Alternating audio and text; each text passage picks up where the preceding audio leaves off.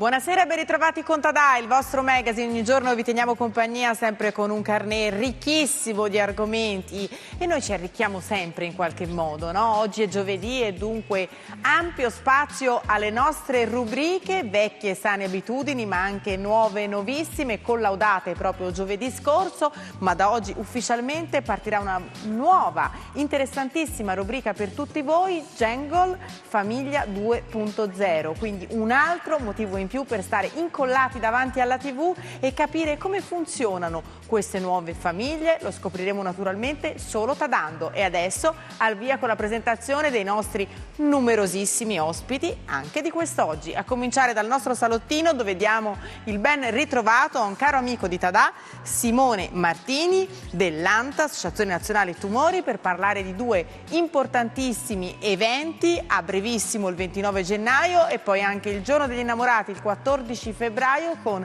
tante sorprese. Buonasera Simone, benvenuto nello studio di Tadà. Buonasera a tutti. Alla mia destra una schiera di bellissime e bravissime ballerine di danza del ventre. Adesso presenterò solo le maestre, poi faremo un bellissimo excursus anche sulle altre partecipanti, ma intanto per Agne Danza abbiamo Agnese Magonio, Elisa degli Innocenti e Sara Magherini e tutte queste altre quattro bellissime. Buonasera e benvenute a tutte quante nello studio di Tadà. Di Tadà. Oh, pardon, mi sono inceppata. Alla mia sinistra un nuovo angolo, una nuova rubrica, come detto all'inizio della nostra trasmissione, trattasi appunto di Jangle, Famiglia 2.0 e allora cominciamo perché è una schiera anche questa naturalmente. Alla mia sinistra il ben ritrovata Giuditta Pasotto. Buonasera. Che oggi ci ha portato l'avvocato Vincenzo Todaro. Buonasera. E Gianluca Fani, che in realtà è responsabile della Casa dei Babbi, ma oggi qui è venuto a portare la sua testimonianza dell'argomento che tratteremo, Buonasera. separazione consensuale, nello specifico quella con negoziazione assistita. Che cos'è? Lo scopriremo solo da dando, naturalmente con l'aiuto di Jangle, perché se no non eravamo qui. Che si spalanchino le porte della mia coloratissima cucina, largo ai giovani, alle novità, anche ai nostri fornelli. Benvenuto a Matteo Vannini. Ciao Matteo. Ciao, buonasera. E allora, con che cosa ci delizierai quest'oggi nella terza e ultima parte di Tadà? Oggi faremo un tagliolino scaleno, Cioè? cioè abbiamo ripreso tre territori e li abbiamo uniti in un unico piatto. Ah, bello, un tagliolino cosmopolita. Evviva, la sagra del carboidrato complesso. Benissimo, allora, questa è la formazione, come si fa per le squadre di calcio, della prima parte di Tadà, perciò iniziamo sfogliando proprio la prima pagina, quella dedicata alla nostra nuova rubrica Jangle Famiglia 2.0. Allora, la redazione di Jangle, che è sempre molto attiva, che cosa ha fatto? È andata a intervistare l'avvocato Francesca Zadnik del Foro di Genova, proprio in virtù del nostro argomento, la separazione consensuale, negoziazione assistita. Sentiamo l'intervista e poi torniamo qua in studio. Ciao a tutti, mi chiamo Francesca Zatnik, sono un avvocato e mi occupo di diritto di famiglia. La negoziazione assistita è uno strumento per separarsi e divorziare in modo più rapido, in modo più economico ed è una metodologia che è assolutamente prevista dalla legge ed è utilizzata proprio per raggiungere lo stesso tipo di validità che ha una sentenza fatta in tribunale da un giudice per la separazione e per il divorzio. Presuppone ovviamente una volontà delle parti di raggiungere un accordo senza esasperare il conflitto, senza esasperare la crisi, raggiungere l'accordo in tempi più rapidi e con una maggiore trasparenza e correttezza nell'interesse dei figli, prevede la presenza di due avvocati, uno per parte, e prevede un invito formale ad aderire a questa procedura che deve avere un riscontro entro i 30 giorni dalla ricezione. Nel momento in cui ci sarà l'accordo sulla convenzione si andrà a sottoscrivere la negoziazione assistita vera e propria. Non si dovrà andare in tribunale, la si potrà fare negli studi degli avvocati o in un altro luogo neutrale. Gli avvocati devono comunicarlo entro 10 giorni alla Procura della Repubblica presso il Tribunale competente che effettuerà un controllo formale sull'accordo. Telematicamente nell'arco di una settimana noi abbiamo il provvedimento sottoscritto e autorizzato o con un nulla osta. Voi avrete la vostra sentenza fatta su misura e sarete separati o divorziati. Ringraziamo naturalmente l'avvocato Snadik per quelle che sono le sue informazioni certe e precise. Da neofita dell'argomento, mi sembra di capire, Giuditta, che questa tipologia di accordo in fase di separazione, negoziazione assistita, lo ripetiamo, tolga tutta una serie di ansie anche molto inutili in una situazione già di per sé stessa non molto felice comunque sia. Eh? Esatto, uno dei problemi più grossi durante la separazione e l'attesa eh, dell'omologa del giudice è proprio la tensione che si crea fra i genitori generalmente eh, nell'attesa di questa omologa dove bisogna ovviamente rispettare comunque gli accordi che ancora non sono stati diciamo ufficializzati ma in questo periodo che è variabile, a volte anche anni perché eh, ci sono sempre i famosi imprevisti, si creano proprio degli attriti nella coppia che spesso vanno a deteriorare il rapporto. In più dipende anche molto dalla tipologia di avvocato a cui uno si affida perché eh, ovviamente la negoziazione prevede una, un, un, dialogo assolutamente non bellico, no? quindi si mira a trovare eh, un accordo consensuale in maniera eh, morbida, diciamo o più Quindi, dolore possibile. Più dolore. No? E quando ci sono i figli di mezzo è importantissimo. È proprio questo uno dei motivi per cui ci tenevamo in questa prima puntata a portare subito eh, questa informazione a casa per dar modo alle persone che magari si trovano ad affrontare una separazione di venire a conoscenza di eh, questa tipologia di separazione. E ora eh, l'avvocato Todaro spiegherà nel dettaglio ecco. come accedere a questa come cosa. Come si può, eh? Ci ecco. illumini avvocato perché così almeno le abbiamo fatte fatte tutte, chiosiamo proprio su questo metodo che giustamente diceva Giuditta, non è poi così conosciuto. Eh. No, è anche molto giovane, vero? Ecco. Sì, no, come ha già detto la collega di, di Genova nel video e anche eh, Giuditta, e sì, dal 2014, una legge piuttosto recente, eh, c'è la possibilità appunto di esperire come strumento appunto la negoziazione assistita, uno strumento stragiudiziale, cosa significa? Appunto non bisogna andare eh, dal, dal, giudice o dal tribunale e, questo, e con la negoziazione assistita eh, i coniugi eh, possono separarsi, eh, divorziare e anche rivedere, modificare gli accordi della separazione ah, e del divorzio. Addirittura? Sì, è importante anche questo aspetto. Eh, ci sono dei requisiti ovviamente abbastanza importanti. Prima di tutto ci deve essere la volontà delle parti, come appunto diceva la collega di, eh, di Genova. Poi, altro aspetto fondamentale che la legge stigmatizza è che ciascun eh, coniuge deve essere assistito da un avvocato. Cioè un, ogni, ecco, non si può prescindere. Non, esatto, ecco. cioè non, non, è possibile che i coniugi siano assistiti soltanto da ehm, un avvocato. Non ci sono altre preclusioni, cioè possono eh, espedire la negoziazione assistita sia i coniugi che non hanno figli, ma anche coniugi che hanno eh, figli eh, minori oppure maggiorenni che hanno uh, dei, grossi, dei, grossi, handicap, quindi soggetti socialmente deboli, ecco. okay. uh, oppure soggetti maggiorenni che si sa appunto anche in questo periodo non sono economicamente autosufficienti, quindi questo è un aspetto molto importante che andremo ad analizzare e poi ovviamente anche coloro che hanno figli maggiorenni. Allora, per passare rapidamente un po' come funziona questo strumento certo. della negoziazione assistita, eh, semplicemente eh, l'avvocato di uno dei due coniugi invita ehm, l'altro coniuge a eh, stipulare una convenzione per, questa, per questa uh, negoziazione assistita.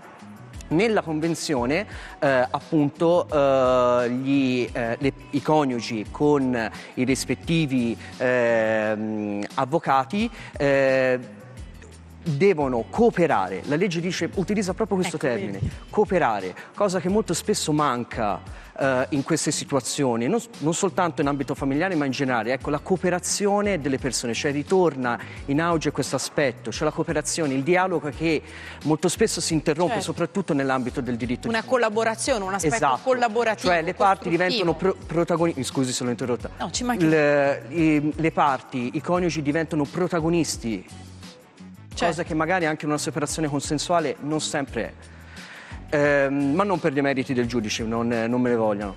Ehm, L'aspetto anche molto importante è che l'avvocato deve agire lealmente, gli avvocati, e proprio per questo le informazioni che vengono effettuate, che vengono dette durante questa ehm, in questa fase eh, rimangono totalmente riservate, ecco. cioè non possono essere utilizzate anche in altri procedimenti. In giudizio eventuale. Ma anche, collega sì, ma anche collegati al, per lo stesso oggetto e lo stesso avvocato tra l'altro non eh, ha l'obbligo di segreto professionale su, queste, su quanto riferito eh, in questa fase. Uh, in questa particolare fase che ho detto, le, uh, il, i coniugi insieme agli avvocati si devono dare un termine non inferiore a un mese e non superiore a tre mesi eh. per stipulare quello che sarà poi l'accordo vero e proprio della uh, separazione o del divorzio oppure per la modifica delle condizioni.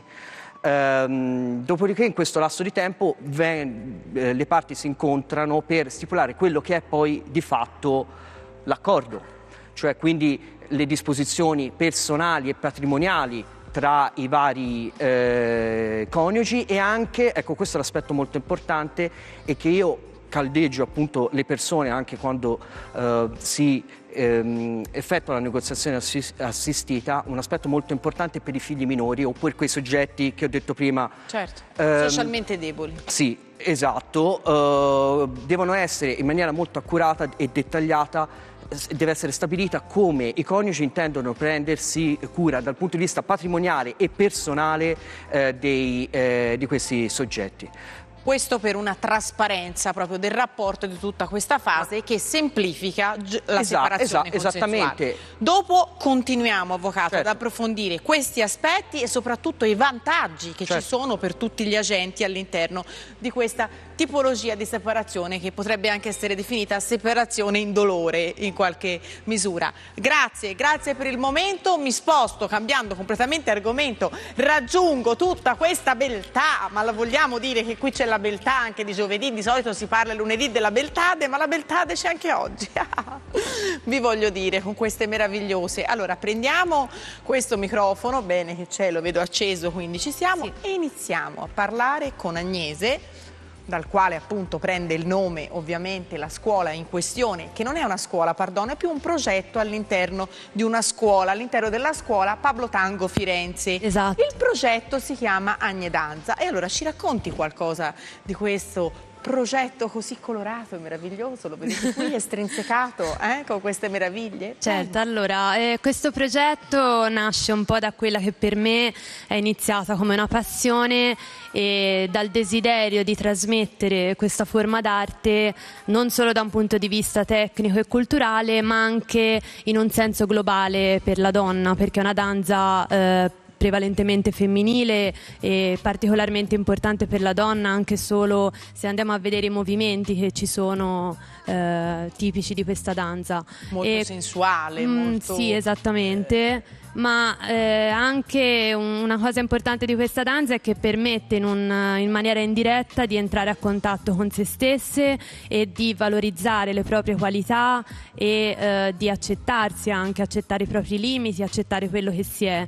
È una danza adatta ad ogni età e corporatura, questo è importante dirlo. Questo è importante perché qui nella danza del ventre non esistono taglie, non è richiesto no. nessun physique du roll particolare, ma forse, e ora sentiamo anche per esempio Elisa, sì. quello che è richiesto è la voglia di mettersi in gioco, di tirar fuori questa femmina che è nascosta in ognuna di noi. Eh? Esatto, la cosa fondamentale prima di tutto è la passione verso la danza e noi viviamo la danza in maniera mh, mm, molto tranquilla rispettando prima di tutto il nostro corpo, i nostri limiti ed è una danza molto sensuale e molto femminile ed è Visto. per questo che ogni donna può trovare il proprio modo di esprimersi attraverso di essa.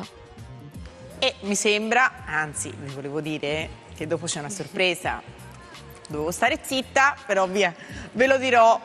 Quindi aperta a tutti, meravigliosa, esaltatrice della femminilità, Sara, io so che tu, prima ti ho chiesto, ma insomma, ma uno quando può iniziare a provare? E lei mi ha detto subito, di un Sì, po'. Allora, eh, diciamo che non ci sono limitazioni, come abbiamo detto è una danza adatta a tutte e eh, soprattutto ehm, chi volesse eh, iniziare subito a provare questa danza può presentarsi già direttamente stasera eh, in via Barazzoli 19 dove abbiamo un nuovo corso eh, principianti e può venire a provare, la prova è assolutamente gratuita, può conoscerci, eh, Agnese Magonio, Elisa degli Innocenti e me e eh, approcciarsi a questo mondo. Meraviglioso. Senti, eh, aiutami Sara, passa il microfono, come si chiamano? Io sono Alessia Boninsegni. Ciao Alessia, benvenuta. Facciamo l'escursus. Maria Antonietta De Caro. Bene. Paola Mori. Violetta Giuca. Bene, con Violetta, Violetta a rosa, verso il rosa, insomma facciamo così la gradazione di colore, ci porta il microfono. Beh, insomma, insegnare a tutte queste ragazze deve essere una cosa molto bella e anche molto formativa per se stessi. È una bella soddisfazione vedere le allieve crescere. Quelle che adesso sono insegnanti sono nate come allieve, sono Ecco. dieci anni che ballano Dieci anni? so- all'interno di Agne Danza e quindi per me è un onore averle oggi come insegnanti e ringrazio tanto anche le allieve che oggi hanno deciso di condividere con noi questa bellissima opportunità. Io ringrazio voi eh, perché avete deciso tutte insieme di condividerla invece con me e con tutti gli amici e le amiche di Tadà e noi siamo contenti perché non so se avete notato, ma sicuramente i nostri registi hanno fatto un bellissimo escurso sui loro volti. Guardate gli occhi eh, di queste donne, sono veramente sorridenti. Ah, ah, ci mettono pace, che bellezza. E viva, e viva. Grazie, eh, perché dopo continueranno a essere protagoniste. Protagoniste insieme a Agne Danza. Noi naturalmente eh, ringraziamo anche la scuola ehm, Pablo Tango di Firenze che ogni tanto ci porta, ci fa viaggiare no? attorno al mondo rimanendo sempre qui nello studio di Tadà attraverso la magia della danza. Grazie, eh? Grazie. Grazie ragazze, ci vediamo dopo, ci vediamo dopo, come si dice, si direbbe di Paolo in frasca, invece io di panca in poltrona vado di qua e raggiungo nel nostro salottino Simone Martini. Simone, ben ritrovato. Francesca. Eh? Voi fate tipo me a Tadà, all'Ant, non vi fermate mai per uno scopo molto più importante di quello che è sicuramente il mio. Ricordiamo, prima di introdurre quelli che sono i prossimi eventi curati, organizzati a 360 gradi dall'Associazione Nazionale Tumori, quella che è l'attività di questa associazione che da ormai diversi anni regala speranza concreta ai malati oncologici e ai loro familiari con un sostegno veramente ormai a tutto campo. Esatto, eh, la Fondazione Ante è nata 40 anni fa proprio per portare l'assistenza domiciliare oncologica gratuita nelle case di chi stava soffrendo. Eh, come lo facciamo? Lo facciamo con un'equipe specializzata di medici, infermieri e psicologi che eh, entrano in punta di piedi, come dico sempre io, nelle case di chi soffre per portare qualità, professionalità, ma soprattutto anche eh, solidarietà, perché eh, spesso le famiglie quando si trovano ad affrontare un momento difficile come quello del tumore hanno eh, la paura di sentirsi abbandonati, di sentirsi soli, quindi dobbiamo riuscire a portare anche molta umanità nelle case delle persone. E quindi questo è veramente importante. Il fattore umano è quel fattore che non scade mai, che ci viene in ausilio tutte le volte che purtroppo può accadere una disgrazia come quella di una malattia, come quella appunto tumorale. Per fortuna che ci siete voi, per fortuna voi che donate speranza, nel senso appunto di non far sentire mai abbandonate queste persone che sono malate direttamente e anche tutti i componenti di quelli che è il nucleo familiare, perché non soffre solo il malato, ma soffre insieme a lui anche chi in maniera indiretta subisce la malattia. E allora, apposta per trovare i fondi per sostenere Ante tutti i suoi progetti così ambiziosi ma così importanti, voi che siete sempre una fucina di idee molto belle e coinvolgenti avete pensato a due eventi. Iniziamo da quello più vicino in ordine temporale che avverrà il prossimo 29 gennaio in una location straordinaria e bellissima che è la Certosa di Firenze. Raccontiamo che cosa succederà e quelli che sono e che saranno i soggetti coinvolti nell'evento. Allora, intanto diciamo che appunto è un'iniziativa eh, che si pone come obiettivo quella di raccogliere fondi per finanziare il nostro staff sanitario. Eh, e siamo arrivati quest'anno all'ottava edizione del Ballo delle Debuttanti, un progetto che è nato insieme alle promesse viola di ACF Fiorentina. Eh, è l'ottavo anno in cui da una parte accompagniamo le giovani eh, ragazze dai 18, di, solitamente sui 17-18 anni, al passaggio nell'età matura e, e dall'altra parte il, i cavalieri della primavera della Fiorentina eh, diventano i, i partner, i cadetti di un tempo e accompagnano queste, queste ragazze in, questo, in, questa meravigliosa serata. La serata è divisa in due parti, una prima parte che è, è dedicata completamente agli ospiti, cioè a coloro che partecipano per guardare il ballo delle debuttanti, quindi l'accoglienza, la scena, eh, il momento di convivialità. Eh, nella seconda parte della serata invece ci sarà il ballo vero e proprio dove appunto le 24 eh, ragazze e 24 ragazzi della Fiorentina si cimenteranno eh, nei classici valzer. Eh, la serata sarà aperta con, eh, ehm, dalla fanfara delle, dei carabinieri eh, che eh, ci suonerà l'inno nazionale e un paio di, di brani sempre in tema eh, sul, sul, tema del valzer. Eh, ospite d'onore della serata sarà eh, la marchesa Daniela del Sicco d'Aragona. Per la seconda volta, perché anche l'anno scorso fu ospite. Anche l'anno scorso, ma è più di un anno che è il nostro ospite, ormai è, è un nostro affezionatissimo testimonial eh, sarà con noi e recentemente è uscita eh, dal Grande Fratello VIP, eh, spesso si sente dire che è il vincitore morale del Grande Fratello VIP perché è riuscita a eh, gestire e a imporre la propria presenza anche da fuori dalla casa. Comunque sarà con noi, quindi è un'occasione in più, è un motivo in più per venire alla Certosa a vedere il ballo delle debuttanti. Eh, speriamo e ci siamo dato l'obiettivo quest'anno di raccogliere circa 30.000 euro con questa iniziativa. Eh, eh, è un progetto importante e quindi mi raccomando accogliete con benevolenza e con partecipazione tutte quelle che sono poi le tantissime iniziative di Ante eh, che fate durante tutto il corso dell'anno perché non ci sono naturalmente solo gli eventi e non si può sostenere solamente attraverso gli eventi tutte quelle che sono le numerose attività dell'associazione ma poi dopo ricorderemo anche il sito eh, e le modalità di interazione proprio di partecipazione all'attività straordinaria di questa associazione che veramente ormai da tanto tempo aiuta il malato di tumore e tutta la sua famiglia sotto ogni profilo. Eh? Grazie, grazie, grazie. Simone Martini, ci vediamo dopo invece per parlare dell'altro evento, quello del 14 febbraio nel giorno degli innamorati. Chissà che cosa vi siete inventati voi all'ANT. Io intanto a questo punto ritorno al centro del nostro studio per riaprire nuovamente la pagina dedicata alla nostra nuova rubrica in collaborazione naturalmente con Gengol, di cui noi abbiamo la fondatrice Giuditta, eh, che tutti eh, sicuramente sapranno, ma lo sanno tutti chi sei, quindi insomma, eh. però la nostra rubrica Gengol Genitori 2.0 abbiamo detto prima che oggi tratta l'argomento della separazione consensuale nella fattispecie della negoziazione assistita, quindi la separazione consensuale che abbiamo sentito prima grazie al nostro contributo grazie anche all'avvocato Todoro, consente di snellire notevolmente anche i tempi di una separazione che è sicuramente eh, meno... Eh, eh, come dire, aggressiva sotto tutti i punti di vista o meno litigiosa di altre tipologie di separazioni.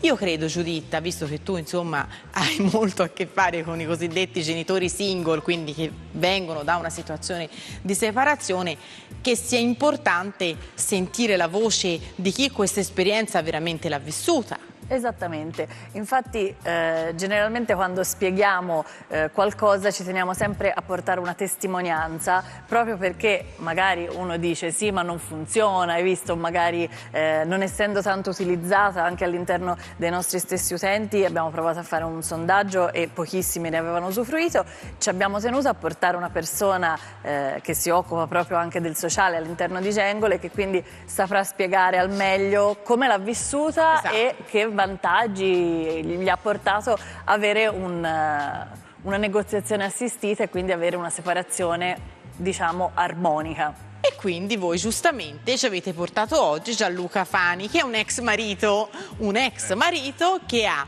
usufruito di questa tipologia di separazione, che Perfetto. adesso ci racconta la sua esperienza, come ha gestito Allora, io ho avuto la fortuna tre anni fa di fare la separazione assistita e, mm, e è stata, la ripeto, una fortuna perché intanto, levato tutti gli aspetti tecnici che abbiamo descritto finora, bisogna sempre ricordarsi che quel momento è un momento molto particolare per, un- per due genitori in particolare. Un momento particolare perché insomma c'è una tensione molto grossa, sai che quello che vai a fare ti condizionerà in qualche modo un pochino tutto l'aspetto de- del futuro, tutta la vita. Eh, però mi è piaciuta la negoziazione assistita tantissimo, sono stato ben suggerito e mm, è stato bello perché abbiamo fatto due o tre incontri praticamente con gli avvocati. Questi incontri riguardavano essenzialmente due cose, insomma, i- un, un patri- un- un bene patrimoniale che c'era da suddividere e la gestione dei figli, perché in quel momento che ti vai a separare un aspetto fondamentale è proprio che devi decidere insieme come organizzare la vita di due nuclei familiari che avverranno. Che è un momento un pochino particolare perché te vai a, organizza- a organizzare un po' la vita, a formalizzare delle cose che sai che ti condizioneranno per tutta la vita. Tu stai andando a corroborare con la tua esperienza quanto detto prima dall'avvocato. Todaro che Certo. ci ha parlato proprio io di parlo cooperazione. Eh, ma Certo. questo è perfetto. Parlo un po' più perché della abbiamo- parte emotiva proprio perché è un Certo. momento molto particolare della vita. Ma noi nella nostra rubrica vi, vi- vi lasciamo spazio perché così diamo spazio alla parte Infatti. emotiva, alla parte organizzativa Tecnica. e poi Certo. alla parte invece anche istituzionale. Sì, sì, è stato importante fare questi due o tre incontri, è stato importante andare a filmare una separazione che nel mio caso prevedeva l'affido condiviso al 50% di questi due bimbi, dividendosi fine settimana, le giornate, un po' tutta la logistica.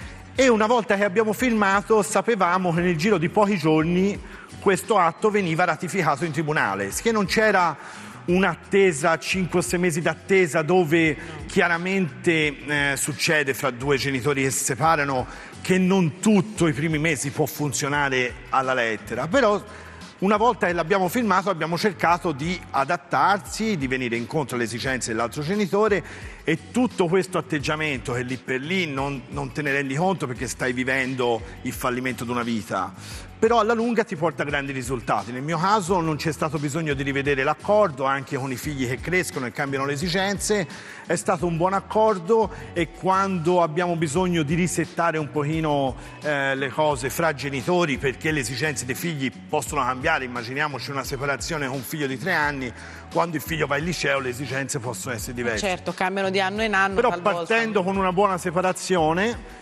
eh, si riesce a, a trovare sempre degli equilibri. Devo dire che questo aspetto della separazione consensuale nella forma della ehm, negoziazione assistita presuppone anche un'intelligenza Certo. dei due ormai ex- Certo. prossimi, diciamo così, ex coniugi, perché come ci ha spiegato appunto Gianluca, avete potuto vedere dalla sua esperienza, non solo vengono snelliti le tempistiche e le modalità, Sì. ma la serenità che dovrebbe rimanere anche in questa tipologia di famiglia 2.0, perché può essere una tipologia di famiglia anche questa, eh, dona serenità a tutti, cioè ai figli, agli ex coniugi e permette di vivere, diciamo, in maniera più serena quello che poi alla fine è uno sconvolgimento. Certo. Ci Francesca, no, ti volevo dire Dimmi, una cosa. pure. Nel senso, può capitare di dover andare davanti al giudice perché non troviamo proprio un accordo e giustamente c'è un giudice che ce lo trova per noi. Però se si può evitare anche la tensione di passare una giornata in tribunale, ma perché no, insomma. L'ansia di quello- cui prima parlava di Giuditta, cui eh? ne abbiamo parlava parlato prima. con lei. Ti ringrazio per la tua testimonianza perché è davvero importante. Magari ci sono tanti amici e tante amiche a casa che non sapevano e ora grazie a voi sanno. Non è finita qui perché dopo andiamo invece sull'istituzionale, sul giuridico, parlando degli aspetti positivi ancora con l'avvocato Todaro. Io però adesso mi sposto un attimo in cucina, vado a trovare il mio chef. eh? Una premiere oggi abbiamo di Matteo Vannini a Ciborda perché se adesso casco che succederà mai Piattadà? Eh? Allora caro, benvenuto, benvenuto. Grazie, Guarda, ti do anche grazie. due bacini che sono benauguranti, mentre tu racconti qualcosa guardando lì, cioè guardando dritto negli occhi Ok. i nostri amici e le nostre amiche a casa, io ti preparo un bel caffè e tu racconti come ti è venuta l'idea di presentare questo tagliolino cosmopolita, eh? Vai. Ok. Allora, oggi abbiamo questo tagliolino eh, scaleno. Perché scaleno? Perché è un triangolo di territori con i nostri ingredienti. Andremo in Sicilia con gli agrumi, appunto mette- utilizzeremo il- gli agrumi di Sicilia, dal limone al mandarino all'arancia. Poi passeremo per la Francia con un vino francese leggermente liquoroso che si abbina bene agli agrumi e concludiamo con la Toscana che è colui che andrà a impiattare il piatto che sono io e quindi ho voluto personalizzare questa ricetta. Ce l'hanno voluto affilare così in corner, eh? va bene. Allora lì c'è il caffè, qui c'è lo zucchero se lo preferisci, ti lascio rilassare ma non troppo e torno ad occuparmi dei miei altri ospiti, ok? Perfetto. Ci vediamo più tardi Matteo. A dopo. tra poco. Allora, allora, allora, allora, cari miei, riapriamo la pagina dedicata alla danza, la danza del ventre, eh?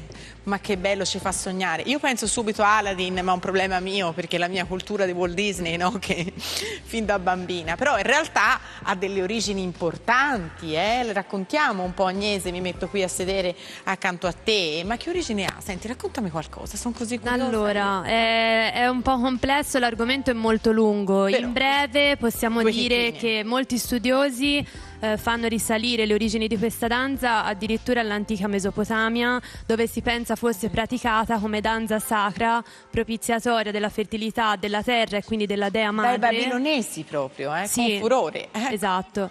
E, e quindi importante per la donna perché comunque la terra, la donna, il ventre a livello certo, il simbolico centro, il è fondamentale. centro della vita. Poi ovviamente la culla è l'Egitto e da lì mh, va- eventi storici e culturali hanno portato poi a quella che è la danza oggi, la danza orientale. Quindi... Comunque qui vedo che a femminilità siamo messe benissimo, perciò cari miei, allora, eh, quante volte vi allenate? Eh, dipende. Voi insegna- molto, diciamo voi insegnanti, via, poi si dice insegnanti, ma poi dopo si dice anche quelle che potrebbero essere le neofite. Ok. Ci Eh, alleniamo sempre, anche per esempio quando facciamo le faccende domestiche e ci spostiamo. Sai come sono contenti i mariti e casa. fidanzati? Vorrei fa- Ma guarda un po', secondo me qui la separazione consensuale non c'è. Eh? È vero? Vero amici di Django? Non c'è, eh? Eh, sì, sì, lo so io, ma ecco, mi dice, si può fare la negoziazione alla seduta oppure non si può... imparare Esatto, la oppure imparare. Vediamo... La danza del vento. Quindi, bene, bene, contento il fidanzato, eh? Parla al microfono. Sì. Contenti tutti, Sono eh? contenti tutti. Io consiglio a tutti di provare perché appunto è un modo per entrare in contatto con se stesse, con la propria femminilità e imparare a conoscersi. E ad amarsi ad poi, alla amarsi, fine, sì, eh. a scoprire magari dei lati del, del proprio corpo e a valorizzarsi, a esprimere le proprie emozioni, quindi ad esempio attraverso l'interpretazione eh, di un brano si può esprimere un'emozione che può essere di gioia oppure di tristezza e quindi insomma eh, consigliabile veramente a tutti. Consigliabile anche per mantenere un matrimonio, diciamo così, abbiamo visto.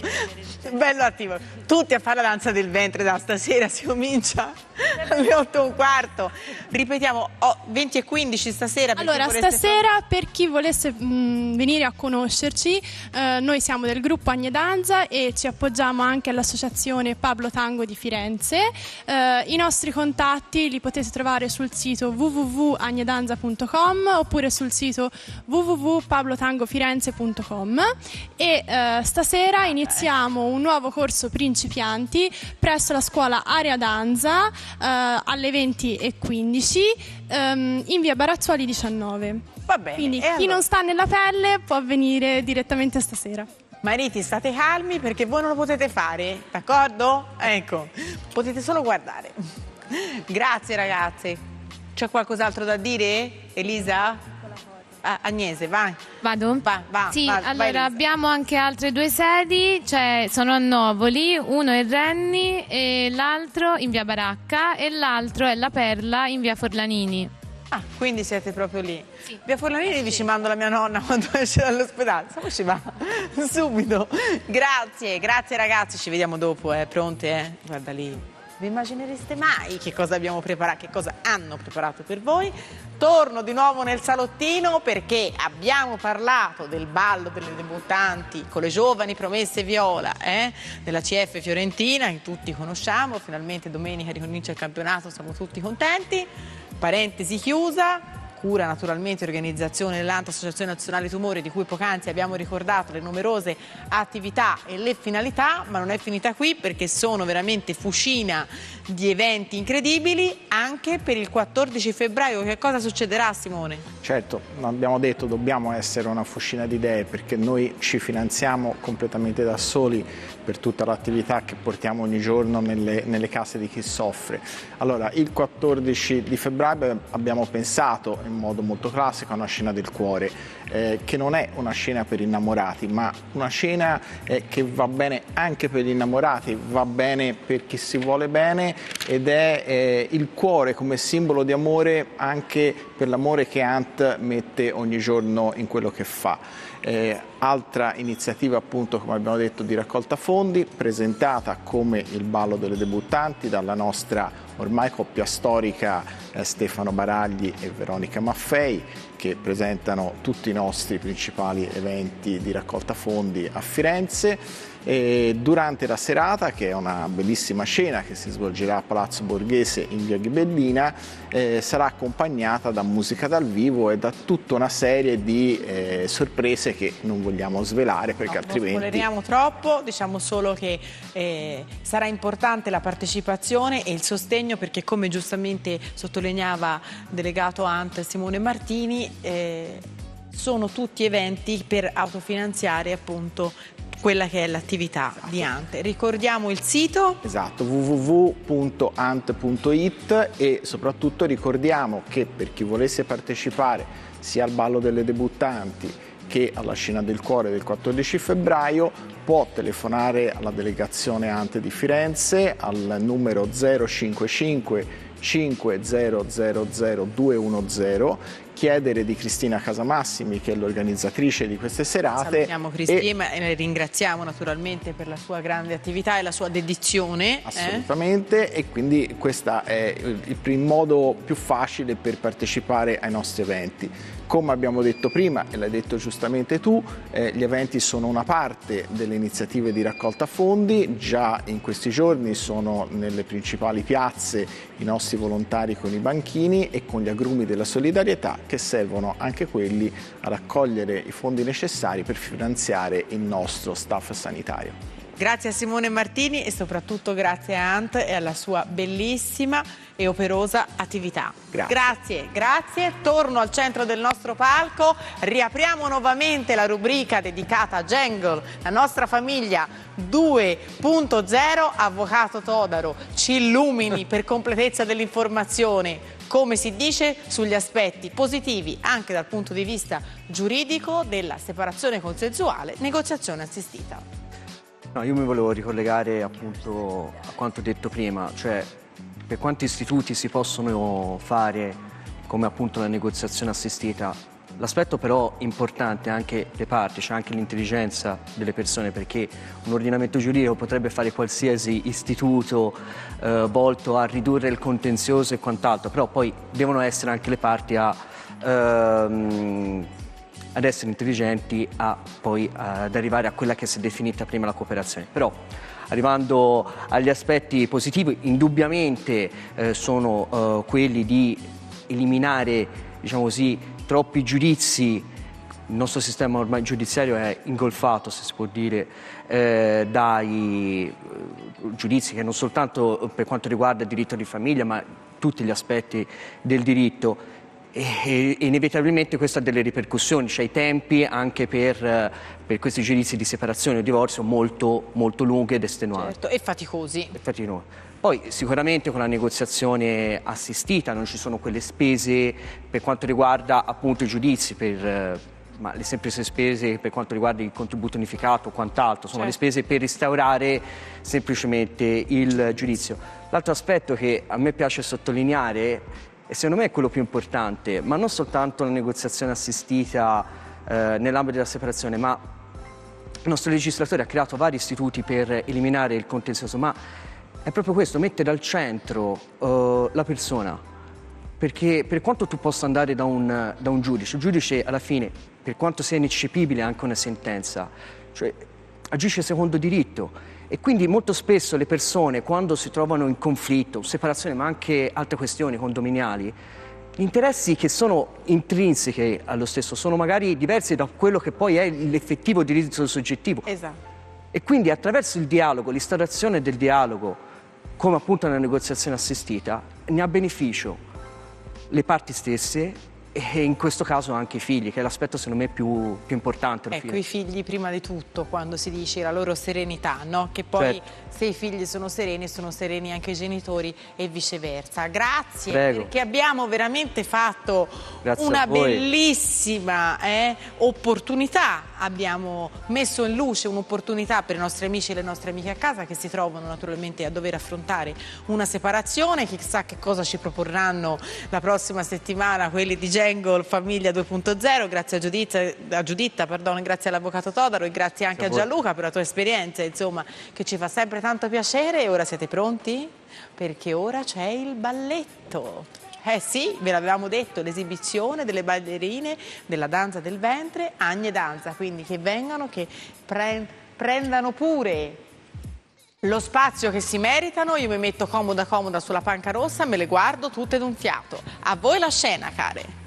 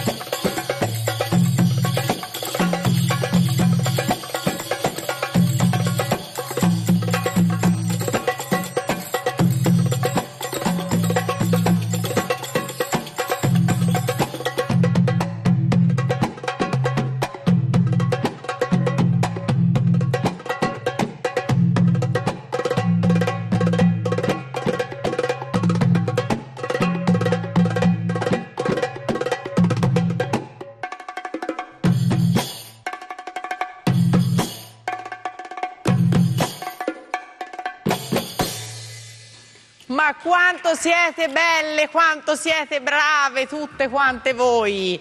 Mamma mia, mi verrebbe voglia quasi di prendere un tè nel deserto. Eh? Come dire, brave, complimenti, state qui con me, non mi abbandonate in tutta questa beltà. Ah, Siamo in un harem? No, siamo un- nello studio di Tata. Grazie perché siete bravissime. Eh? Ora capisco perché i mariti sono tutti contenti, fidanzati. Sì, sì, eh? contenti. Mamma mia, un successone proprio. Eh? Allora, che cosa abbiamo visto? Un pezzo di danza orientale Sharky. Sharky, Perché ci sono diversi stili e questo è uno stile abbastanza che prende anche delle contaminazioni, volendo, di danza classica per l'incontro fra Oriente e Occidente e quindi è più adatto a uno spazio grande, l'uso del velo, tipico. È integrante, eh? come si dice. Sì. Che belle, che belle, che brave. Una curiosità, ma i costumi chi li fa? Questi sono egiziani. Originali addirittura. Questi sono di manifattura egiziana, sì. E La danza del ventre a chilometro zero, bellissimo. Alcuni dalla costume- vari. Dalla Sarte, però questi sono originali, eh? Questi sono egiziani. Mm, hai capito che viaggio, eh? Che viaggio nell'Oriente che vi abbiamo fatto fare oggi. Grazie ragazzi, accomodatevi pure. Io intanto, che vorrei tanto prendermi, pure, pure, pure andate. No, che meraviglia. Che vorrei prendermi un tè del deserto. Non me lo posso prendere, ma voi che potete vi fatevi il tè, fatevi il caffè, perché naturalmente Tadà continua, è come se continua, abbiamo ancora seconda e terza parte. Pensate un po', ci vediamo tra poco, eh? state lì, non vi muovete.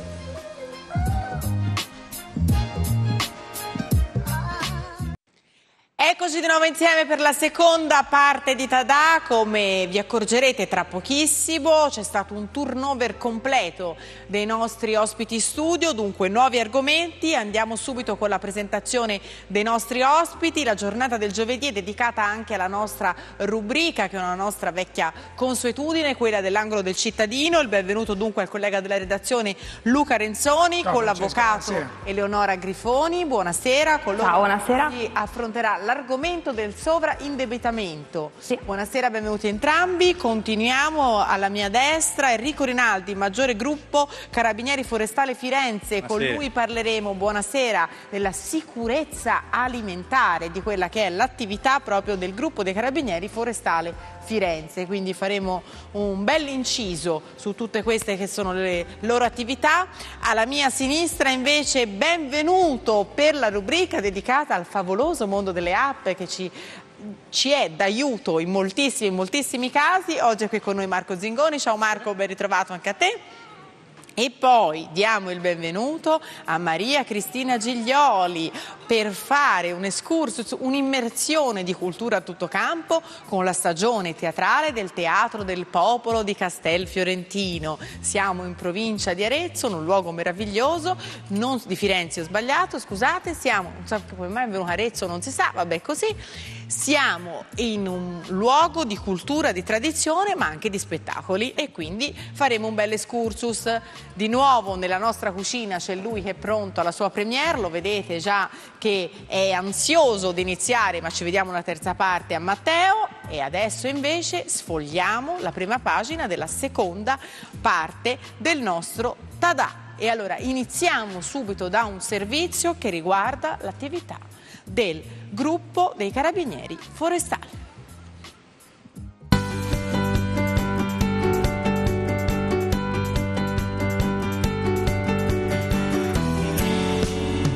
I carabinieri forestali si occupano nell'ambito del settore dell'agroalimentare di tracciabilità ed etichettatura. L'attività dei carabinieri forestali è anche quella di sensibilizzare alla conoscenza dell'etichetta, perché l'etichetta come carta d'identità del prodotto consente di diventare dei consumatori consapevoli.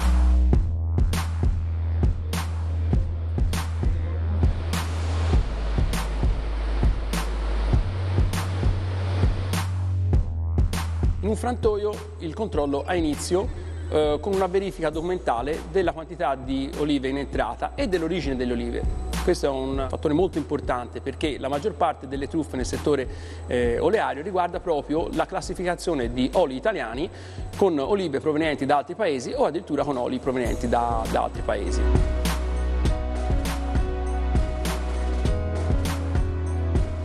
Segue poi l'ispezione del processo di trasformazione che eh, diciamo, è atto a verificare che questo si svolga secondo la normativa eh, vigente. L'olio prodotto che deve essere compatibile per quantità con il quantitativo di olive in entrata all'interno del, del frantoio viene poi inviato presso i silos dove il produttore gli attribuisce un lotto di produzione prima di inviarlo alla, alla fase di imbottigliamento.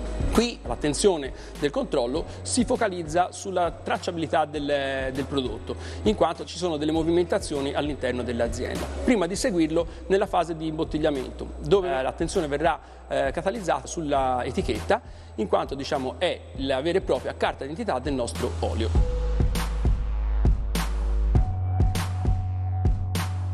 Sullo scaffale non trovo solo olio italiano, soprattutto quando ci possono essere stati in effetti delle, dei- de- delle criticità nella produzione stessa eh, dell'olio di oliva. Possiamo trovare quindi dell'olio comunitario, derivante quindi eh, da olive comunitarie, miscele di oli comunitari e non comunitari. E l'importante è che chiaramente ci sia scritto in etichetta perché questa, l'origine dell'olio, la provenienza, è un carattere assolutamente obbligatorio. Quindi il consumatore nel momento in cui ha in mano la bottiglia può sapere che l'origine dell'olio e a quel punto decidere se vuole acquistarlo o meno. Facciamo controlli analitici e controlli lungo tutta la filiera. Tra l'altro noi abbiamo certificato il nostro sistema di controlli. Dal 2013 inoltre come COP abbiamo acquistato un naso elettronico, un gastromatografo di seconda generazione molto evoluto che ci può aiutare a individuare quelle che sono le sostanze volatili presenti nell'olio e a indicarne quindi la provenienza. Inoltre sul nuovo raccolto si fanno delle analisi molto specifiche perché vogliamo essere certi che quando si dichiara nuovo raccolto siano effettivamente le olive della campagna olearia in corso.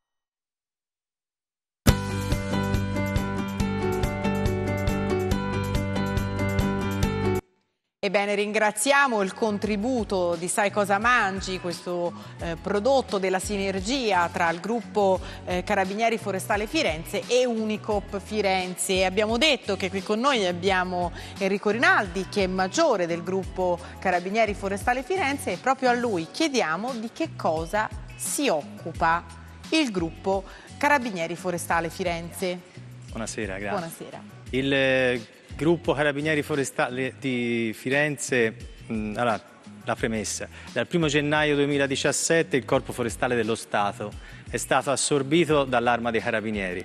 Quelli che erano i compiti e le funzioni attribuite a questo corpo sono confluite nell'ambito dell'Arma dei Carabinieri tram tramite l'istituzione, tra gli altri, di un nuovo comparto di specialità. Questo comparto eh, si occupa di tutela in ambito forestale, ambientale ed agroalimentare.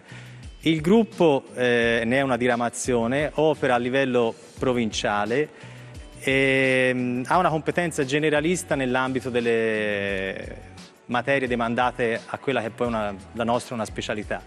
I carabinieri forestali eh, svolgono attività che spaziano dalla tutela del patrimonio agroforestale alla tutela dell'ambiente, della biodiversità nel senso della eh, vigilanza in aree naturali, ma anche gestione, ad esempio la riserva naturale biogenetica che è qui vicino Vallombrosa è sia sotto vigilanza che gestione diretta dei carabinieri forestali, anche se sotto una diversa linea di comando.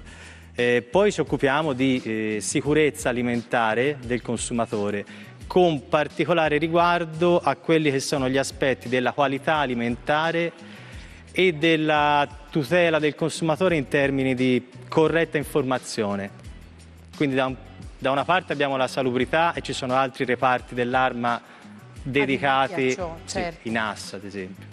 E poi c'è questo aspetto della qualità che è ugualmente importante perché in ambito comunitario e nel trascorrere del tempo si è accresciuta sempre più questa esigenza di tutelare il consumatore attraverso certo. informazione e trasparenza. L'importanza proprio dell'etichetta, della veridicità della stessa che corrisponda poi alla realtà di quella che, sì.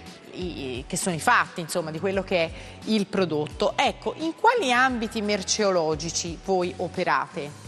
Allora, anche in questo caso il, allora, il, sistema agroalimentare è cambiato, cioè si è globalizzato, la filiera si è allungata tantissimo e si è perso quello che era il contatto fra il consumatore e il produttore. Questo ha, ha comportato uh, un aumento dei rischi per il consumatore, sia in termini di certezza della qualità di quello che acquista, certo. sia in termini di salubrità e igiene. E, mh, sono poi aumentate appunto anche le richieste del consumatore, che è sempre più consapevole e informato su, sugli alimenti. Per fortuna. Quindi una, eh, ci sono attività che, che, si protraggono negli anni e, e, sono rivolte costantemente a due che sono diciamo, i punti cardine della tutela della qualità. Da un lato abbiamo la corretta etichettatura, quindi etichetta conforme, etichetta trasparente, etichetta che non induca in errore il consumatore. Questi sono principi comunitari. Dall'altro abbiamo la rintracciabilità dell'alimento che da un lato da un lato esiste per ragioni di sicurezza, io devo poter prontamente ritirare dal commercio un lotto di un determinato alimento ecco. che poi che risulti pericoloso per la salute. Dall'altro è un importantissimo strumento per gli organi di controllo e vigilanza perché attraverso l'analisi eh, della rintracciabilità spesso eh, si scoprono delle PEC che portano poi ad accertare illeciti a carattere non solo amministrativo ma anche penale. In Toscana, in particolar modo, visto che siamo qui, uno dei settori agroalimentari forse più importanti è quello della produzione olearia, no? dell'olio. Quali eh, ehm, si possono tracciare in questo quadro del settore dal vostro punto di vista? Quali ambiti, quali settori si possono tracciare? Allora, la Toscana eh, è una regione particolarmente vocata alle produzioni di qualità, denominazione d'origine, DOP, IGP. Eccoci. In questo ambito abbiamo l'olio. L'olio ha un complesso normativo eh, importante eh, nel, diciamo, nel cui ambito è possibile anche trovare spazio per, eh, per frodi nel settore alimentare. Eh, noi svolgiamo attività di controllo sia nell'ambito della corretta etichettatura della rintracciabilità, come dicevo, sia nell'ambito del... e collegato alla rintracciabilità c'è il trasporto, quindi controlli su strada. Eh, sono elevatissime le importazioni di olio e sono elevatissime anche le lavorazioni dell'olio che avvengono in Toscana. Ehm, L'Italia è il secondo produttore mondiale di olio però siamo anche principali consumatori ed esportatori del prodotto poi lavorato nel senso di eh, miscelato, imbottigliato, condizionato e riesportato. E nei, per il fabbisogno dell'industria dell'olio, che non sto parlando quindi della, del, dell'agricoltore che produce olio vergine o extravergine d'oliva, certo. ma dell'industria dell'olio in senso lato, eh, l'80% dell'olio lavorato dall'industria olearia italiana è di importazione quindi non è italiano. Eccoci. E quindi? Nell'ambito di tutta questa mobilitazione di, di olio, eh, via terra e via mare, certo. eh, si annidano quelle possono essere delle frodi. Le frodi, eh, quelle più diciamo, diffuse, sono da un lato ehm, il produrre olio che poi viene commercializzato come extravergine di oliva, quindi l'olio più pregiato dalle più elevate qualità, anche organolettiche, miscelando sì oli extravergini d'oliva, ma miscelandolo con oli che extravergini d'oliva non sono, spesso sono di eh, qualità inferiore, anche molto inferiore, eventualmente sottoponendoli a procedure chimiche. È un ambito, che ne ha... diciamo, a rischio questo? È, oh, oh, sì, sì. Fortemente a rischio. Grazie Maggiore, ci vediamo dopo per continuare a parlare naturalmente dell'argomento affine a quello che avete capito è la sicurezza alimentare. Parliamo invece di app eh? con Marco Zingoni, che pensate, sviluppatore app presso Comit eh? SRL. Ho detto bene? Meno male, non ho sbagliato. Via. Allora, due in particolare oggi, che per chi ha il senso dell'orientamento pari a quello di un lombrico cieco, cioè io, sono importantissime. Una è City Mapper e l'altra è Waze. Eh? Si comincia da quale? City Mapper. Va, cominciamo da City Mapper, va. City Mapper è un'app eh, che praticamente permette di muoversi eh, nelle varie, in varie città con i mezzi pubblici molto semplicemente. Ah, per utilizzare il bus, la tranvia. Sì. In pratica, dando un punto dove si vuole arrivare, si dà informazioni sui biglietti, su quali mezzi prendere. Quale linea. Quale linea. Da su... quale parte prendere l'autobus, lato sinistro o lato destro. Anche eventuali ritardi, scioperi, o quindi tutta una serie di informazioni che ti permettano di arrivare in orario fondamentalmente. Quindi è una gestione tempo-trasporto, un'ottimizzazione del gestione te tempo-trasporto pubblico. Sì. sì. Mica male. È eh? molto interessante soprattutto perché ora in Italia c'è solo a Milano e a Roma, però per chi viaggia è attivo in tantissime capitali europee, per esempio. Firenze ancora non c'è. Firenze ancora no. Cioè, è utile soprattutto per posti dove uno non conosce il posto. Certo. Quindi, per esempio, se uno va a Londra, Barcellona, Parigi. Quindi le grandi capitali europee, grandi capitali diciamo così, eh, o ex tali come Londra, ormai della Brexit, comunque hanno tutti eh, eh l'accesso a questo certo. city, city mapper. Firenze ancora no, operatevi, eh, magari non piano, piano. solo ai turisti, ma anche a noi cittadini piano Bene. piano. La seconda invece, più la forse conosciuta, La seconda un po' più conosciuta è Waze. Waze è un, uh, un navigatore social. In pratica le persone che utilizzano eh, Waze possano segnalare sono, dove sono i rallentamenti, quindi se c'è un, uh, un, incidente, eh, se c'è una coda e soprattutto quello per cui viene utilizzato di più se ci sono autovelox, quindi se si eh, viaggiando vengano segnalati tutti i vari punti e quindi ti permette di... Tappare le orecchie al maggiore, sì. eh, ha detto dell'autovelox, se no dice ai colleghi delle altre se... Io nulla, eh? Yeah. Noi si guarda Waze per vedere per dove si deve andare. Ecco. Per il ecco. traffico fondamentalmente. Bene, punto. E quindi è molto interessante perché è praticamente popolato dagli utenti che utilizzano il servizio e quindi hai informazioni in tempo reale su tutto sul traffico e ti permette di prendere la strada più veloce e e di risparmiare di tempo, risparmiare. fatica e soprattutto evitare di perdersi nei meandri eh, metropolitani e non, come si dice. Grazie, grazie a Marco Zingoni, adesso la linea a Luca Renzoni nel nostro salottino per l'angolo del cittadino. Esattamente, è fatta anche la rima, angolo del cittadino che eh, torna a ospitare un esponente di Fede del Consumatore, in questo caso l'avvocato Eleonora Grifoni, per parlare di sovraindebitamento. Noi come sempre dobbiamo partire dall'oggetto, cioè da raccontare che cos'è, di cosa si parla quando si dice sovraindebitamento. Allora, innanzitutto la legge sovra sul sovraindebitamento è la legge salva suicidi, così viene eh, chiamata, ed è una legge che interviene a modifica di norme che già esistevano, norme anti-usura e anti-estorsione, quindi già ci dà la misura di quella che era la volontà eh, del legislatore, del Parlamento, nel momento in cui è andato a emanare eh, questo provvedimento. Eh, entra ovviamente con i piedi in quelle che sono eh, le esigenze eh, cittadine, cioè di, di le esigenze odierne, cioè di ehm, salvaguardare quanto più possibile eh, il soggetto, non soltanto il consumatore, ma eh, il debitore in generale. Esatto, in, infatti esistono due tipi di procedure eh, distinte che vanno a tutelare un soggetto che fino ad ora ne era sfornito di una tutela di composizione della crisi a differenza di quelle che erano eh, le procedure fallimentari. Quindi... Oh, quindi si tratta di eh, norme che si applicano nel momento in cui una persona che è fortemente esposta, fortemente indebitata, esatto. vuole tentare dire, di ricomporre la, la esatto. situazione. C'è un cortocircuito. Parla... Esatto, perché parla di due procedure? Cosa si sono? tratta di due procedure diverse perché ce n'è una per il consumatore, quindi per colui che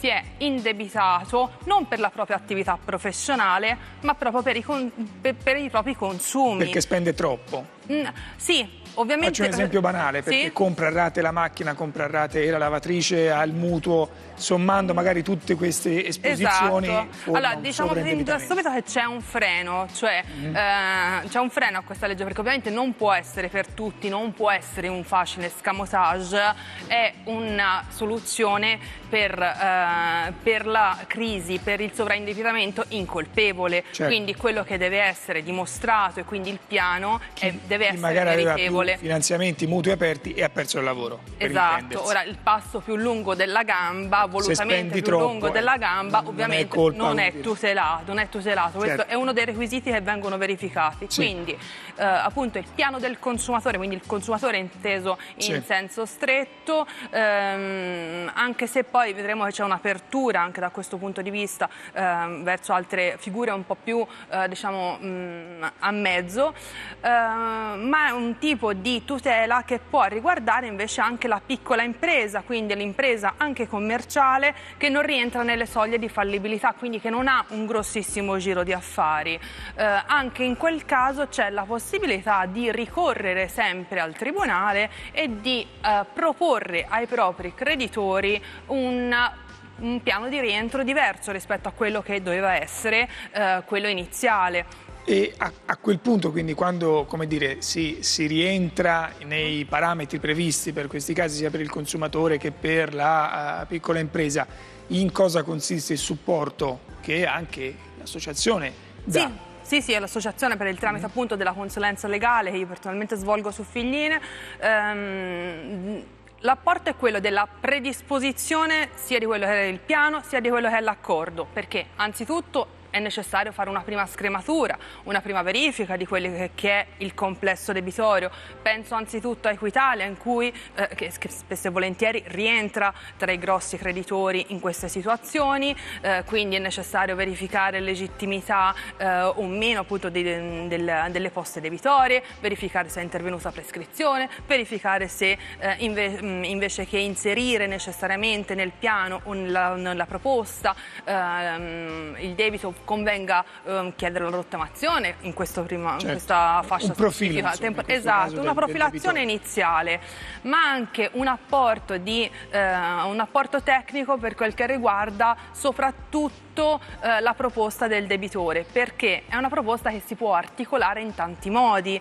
Eh, I tipi di debito possono essere diversi, può avere diverse tipologie di, di, di, di creditori eh, e quindi è necessario fare una, una proposta che sia soddisfacente per i creditori. Qualche esempio su questo lo facciamo nella seconda parte dell'intervista quando cerchiamo anche di capire insomma, se convenga, quando sì. convenga oppure no sì. eh, aprire diciamo, una procedura di questo genere.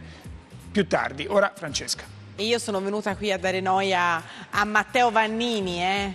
Che qui con questo profumino di agrumi, ricetta particolarmente vitaminica vedo. Eh? Sì, anche un po' colorata, quindi per ricordare Fa un po'... pensare l'estate, nonostante appunto l'arancia sia un frutto prettamente invernale come i mandarini. Grazie, ci vediamo dopo. A dopo. Tonico di sicuro perché con tutta questa vitamina C che cosa volete? Eh, non si fa altro. Bene, cambiamo completamente argomento. Parliamo di arte, l'arte del teatro sublimata in questa stagione così ricca dal programma del Teatro del Popolo di Castel Fiorentino. Abbiamo qui Maria Cristina Giglioli che ora ci introduce un po' quella che è la storia, la tradizione di questo bel teatro. Eh? Sì, grazie, buonasera. Il Teatro del Popolo è un teatro che viene da lontano.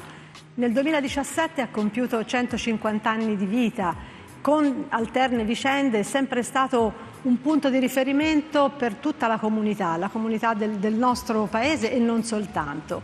Da dieci anni, nel 2019, sono appunto dieci anni dalla sua riapertura, eh, ha visto una nuova vita dopo un importante lavoro di restauro ed è da subito eh, tornato al centro e, e ha richiamato da subito l'attenzione e la frequentazione della nostra comunità. Quindi tante persone lo frequentano sia per eh, vedere degli spettacoli culturali, ma anche eh, diventa per loro un momento di socialità importante. Quindi una proposta culturale che si associa a un momento significativo di vita comune. Ebbene, ci sono vicinissimi tre spettacoli molto importanti, tre spettacoli per tre sezioni, si inizia da subito con domani, domani sera, eh? raccontiamo che cosa accade. Domani sera fa parte della sezione del, della prosa, del teatro più importante, diciamo, anche se questo è un balletto, lo Spellbound Contemporary Ballet mette in scena Rossini Overture sono 150 anni, nel 2018 erano 150 anni dalla morte di questo grande compositore e quindi eh, c'è il tentativo diciamo, di tradurre eh, con la danza e con la, la dolcezza le, delle movenze dei danzatori quello che era il genio musicale di, di, questo grande e importante compositore. Alle 21 domani sera naturalmente al Teatro del Popolo di Castelfiorentino. Poi il giorno dopo il 19 gennaio? Sì, il 19 gennaio, proprio perché il nostro cartellone è un cartellone articolato in tante sezioni, dove trovano spazio davvero tante modalità espressive. E ci fa piacere eh, porre alla vostra attenzione che sabato 19 gennaio, sempre alle ore 21, ci sarà nel, nel cartellone dedicato al teatro civile uno spettacolo particolare, è un progetto che da anni portiamo avanti con le RSA dell'Empolese Valdelsa, dove gli ospiti, gli anziani di queste strutture eh, partecipano ad un coro insieme ai loro, ai loro, familiari, agli operatori e anche insieme appunto a dei, dei maestri professionisti e mettono in piedi uno spettacolo che si intitola Pinocchio Bella cosa se anche lo zucchero fosse una medicina ed è questo momento in cui appunto persone anziane con qualche problema si mettono in gioco e realizzano uno spettacolo. Ma allora voi siete buoni come un lupo, scherzo, buono come un lupo è invece lo spettacolo di domenica 20 gennaio. Esatto, domenica 20 gennaio, siccome abbiamo molta attenzione alle nuove generazioni e ai bambini perché saranno i cittadini di domani e anche gli spettatori di domani. Per cui la domenica pomeriggio noi proponiamo degli spettacoli. Buono come un lupo, uno spettacolo messo in scena da Giallo Mare Minima teatro alle ore 17 che si rivolge a bambini dai 4 ai 10 anni con i loro eh, genitori. Un modo diverso di passare il tempo con i propri figli e secondo noi un modo importante per creare eh, consapevolezza, appartenenza e per far vedere un mondo diverso da quello che comunemente oggi eh, frequentano anche i bimbi più piccoli. Parleremo di altri due importanti spettacoli nello secondo spazio dedicato a questo bel teatro del popolo a Castelfiorentino, perché lo sapete, una delle nostre crociate, oltre a quelle del mangiar bene, dello stare bene, del trasmettervi quell'allegria e quella sana leggerezza che nella vita di ognuno fa bene, è anche quella di promuovere la cultura e l'arte, ma anche l'informazione, soprattutto quella digitale, con la nostra rubrica dedicata alle app. E allora è arrivato lo Zingoni in redazione ha detto detto io oggi vi presento Reddit e io ma che è Reddit? L'applicazione sostituisce il commercialista oppure che ti fa capire se il tuo conto in banca è rosso? No, in verità Eccoci. è un'app che ti permette, che mm, è un aggregatore di notizie. In pratica... eh, Tipo le- me. In pratica le persone possono pubblicare le notizie, link a notizie, link a eh, foto o a video di YouTube e le altre persone, gli altri utenti votano eh, se una notizia è importante o comunque se una notizia piace o non, se una notizia diciamo è, è interessante. E a questo modo, praticamente accedendo alla home page dell'app di Reddit, si ha una lista delle notizie eh, più, eh, più importanti o più di tendenza del momento. Quindi abbiamo le notizie divise anche per categoria, quindi se uno è interessato al Alla teatro, politica, alla alla cultura, politica, eh. alla cultura o a quello che vuole, si ha una lista. Una sorta diciamo, di portale a portata di smartphone. Certo, infatti viene chiamato la front page di internet, diciamo. Eccoci. È chiamato a questo modo qui. Poi ce n'è un'altra oggi. Google Reward. Google Reward. Ricompensa? No. Ti dà una piccola ricompensa. Visto? In pratica è un'app di Google che ti permette, rispondendo a dei piccoli sondaggi, di guadagnare eh, dagli 8 agli 80 centesimi. In pratica ti, restitui, ti dà piccoli soldi per rispondere a una, dei sondaggi che ti vengono proposti eh, giornalmente o settimanalmente in base ai tuoi interessi. E quindi non sono tanti soldi, però alla fine dell'anno casomai ti possono permettere di avere una piccola, piccolo gruzzolo, diciamo. E bravo il nostro Marco Zingoni per lo spazio dedicato alla rubrica delle app. Grazie. Torniamo invece adesso a parlare con Enrico Rinaldi, maggiore gruppo Carabinieri Forestali Firenze della sicurezza alimentare. Quindi riapriamo nuovamente questa pagina facendo un bilancio proprio dell'anno appena trascorso e di quella che è l'attività 2018 del gruppo Carabinieri Forestali Firenze. Dunque, l'attività del gruppo è in crescita e si sta diversificando molto. Eh, da un lato abbiamo delle attività che vengono stimolate e programmate a livello nazionale, quindi il Comando Generale dell'Arma dei Carabinieri emana delle direttive e precisi obiettivi. Gli obiettivi sono differenziati a livello regionale, quindi in base a quelle che a livello nazionale sono ritenute le principali criticità a livello locale. Poi tutta un'attività di iniziativa, sempre in base a, ehm, alle informazioni che riceviamo, soprattutto a- anche a quella che è la- una caratteristica dell'Arma dei Carabinieri, che è l'attività info-investigativa, che non coinvolge soltanto i carabinieri forestali piuttosto che altri, ma eh, l'arma nella sua interezza a livello territoriale. Ecco, e questo, ci fa Questo, piacere perché eh, ci sentiamo quindi- sicuri, come dire, a tutto campo, no? a 360 gradi. Ecco, c'è una serie di consigli che, noi pos- che voi potete dare comunque sia al consumatore. Parlavamo prima dell'olio, no? Sì. Come scegliere l'olio, di che cosa si deve tener conto quando siamo davanti allo scaffale, perché mica è sempre facile no? trovarsi di fronte allo scaffale una schiera di bottiglie incredibili, perciò quali i criteri che dobbiamo utilizzare e poi soprattutto come possiamo contattare il gruppo forestale Firenze? Allora, la prima cosa da eh, tenere presente eh, è la, la classificazione degli oli vergini di oliva. Ehm, spesso eh, manca un'informazione di base che è l'olio extravergine di oliva e l'olio vergine di oliva così come anche l'olio lampante, però lo considererei a parte perché è un olio che non è edibile tal quale, non può essere commercializzato come alimento.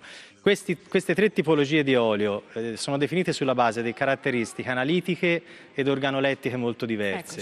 Ne- eh, e questa classificazione ne differenzia in maniera significativa la qualità. Chiaramente l'extravergine di oliva è quello dalla più bassa acidità al maggior contenuto in polifenoli, eh, Eccetera, eccetera. eccetera. E poi importante la distinzione fra gli oli vergini di oliva, quindi extravergine e vergine, e l'olio di oliva. La differenza fondamentale è che mentre l'olio- gli oli vergini di oliva sono prodotti dell'agricoltura, l'olio di oliva è un prodotto dell'industria olearia e è composto da olio raffinato, quindi che, che subisce un processo chimico industriale, con un'aggiunta di una percentuale in realtà indefinita dal punto di vista normativo di oli vergini.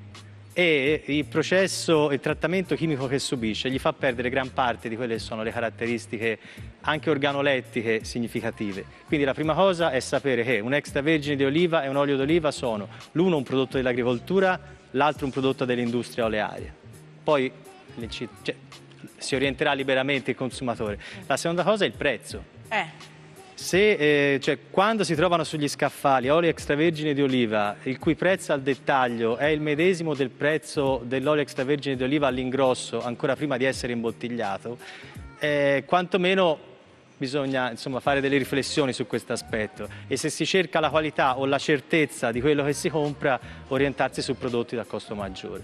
Grazie, Maggiore, per contattarvi Eh, 112 1515 o direttamente ai numeri telefonici del reparto. Grazie, grazie al Maggiore, grazie naturalmente al gruppo Carabinieri Forestale Firenze e a Unico Firenze con il quale abbiamo ingaggiato tutti quanti insieme una bella chiosa sulla sicurezza alimentare. Non ce lo dimentichiamo mai. Adesso invece chiudiamo l'escursus sulla stagione teatrale del Teatro del Popolo di Castelfiorentino con due spettacoli, eh Maria Cristina? Sì, ancora due appuntamenti davvero importanti. Uno è quello del 24 di, eh, di- di gennaio, sempre alle ore 21, con Giorgio Scaramuzzino e Razza di Italiani. Uno spettacolo eh, importante che parla di un periodo buio della nostra storia, le leggi, anti- le leggi razziali in Italia. Spettacolo che poi noi riproponiamo in mattinée il giorno successivo per le scuole, proprio perché è un tema eh, del quale è importante parlare al- con i ragazzi e con le nuove generazioni. E poi ancora il primo febbraio invece Paolo Rossi con uno spettacolo davvero esilarante come sono sempre i suoi spettacoli, Il Re Anarchico e Fuorilegge di Versailles. Il primo di febbraio sempre al Teatro del Popolo di Castelfiorentino, una satira molto pungente come quella appunto di Paolo Rossi. Per vedere tutto il programma c'è un sito, no? Esattamente, c'è un sito www.teatrocastelfiorentino.it. Lì ci sono tutte le informazioni, gli orari, la possibilità di acquistare biglietti, costi e costi e quant'altro. tutto. Grazie a Maria Cristina, Grazie grazie, davvero per questo bel excursus culturale. Adesso la linea va a Luca Renzoni per l'angolo del cittadino. L'avvocato Eleonora Grifoni di Federconsumatori, torniamo a parlare di- dei casi di sovraindebitamento e di quello che fa un'associazione dei consumatori come Federconsumatori in questo caso per dare assistenza eh, legale, in questo caso applicando appunto le normative previste dalla legge per chi è particolarmente esposto con i debiti eh, incolpevoli, diciamo così, legati soprattutto a situazioni Sì. eh, di crisi. Abbiamo detto primo approccio profilare da un certo punto di vista il debitore e il tipo di debito. Facciamo il caso classico, se ce n'è uno, che cosa succede dopo, in che modo si cerca di risolvere la situazione? Allora, appunto, facciamo una prima profilazione eh, per quanto riguarda soprattutto l'imprenditore, quindi eh, il soggetto che, che ha un'attività commerciale, la situazione è più complessa, eh, è più complessa e sono mh, più ampie anche le, ovviamente le, le soluzioni che si possono prospettare, quindi vari tipi di risoluzione che si vada dalla dilazione allo stralcio, ma anche alla prospettazione di trattamenti differenziati in base ai creditori eh, che un soggetto ha, per cui penso alle banche che spesso e volentieri possono sostenere anche rateizzazioni più dilazionate nel tempo, penso che una- un'impresa abbia anche invece dei fornitori con i quali ha un debito, i quali invece preferiscono un pagamento più rapido, magari anche eh, contratto, quindi parziale. Rispetto al, al Esatto. debito effettivo. Il- le procedure di sovraindebitamento permettono anche questo, quindi è necessario un apporto eh, tecnico per, eh, per condurre appunto questo piano. Oh, dal momento che l'obiettivo è eh,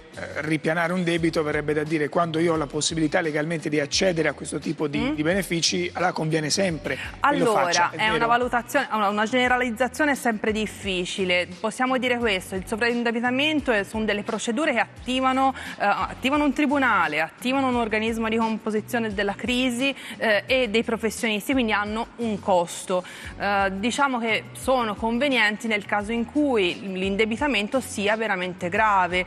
Se pensiamo al piccolo finanziamento fin domestic, mi viene da dire che eh, le soluzioni sono altre vi sono altre soluzioni prospettabili, più snelle, più rapide. Oh. Eh, chi si rendesse conto in realtà di avere dire, a che fare con ben altro debito e con la consapevolezza che non dipende dalla sua dire, propensione alla spesa ma eh, da una situazione di crisi appunto di cui, di cui ha sofferto. In che modo può attivare, può rivolgersi all'associazione attivando questo tipo di procedura, cosa deve chiedere e dove? Allora, eh, la Federconsumatori è appunto sede a, a, Firenze, su Figlino abbiamo lo sportello, eh, lo sportello in cui io sono il consulente legale attualmente, quindi l'avvocato della Federconsumatori e abbiamo lo sportello il giovedì eh, dalle 3 alle 6 del pomeriggio. E basta presentare il problema ovviamente, immagino. Esattamente. Grazie per esserci venuta a spiegare appunto questa cosa molto importante anche alla luce insomma, della situazione economica con la crisi che si è trascinata per anni che ancora è tutt'altro che finita.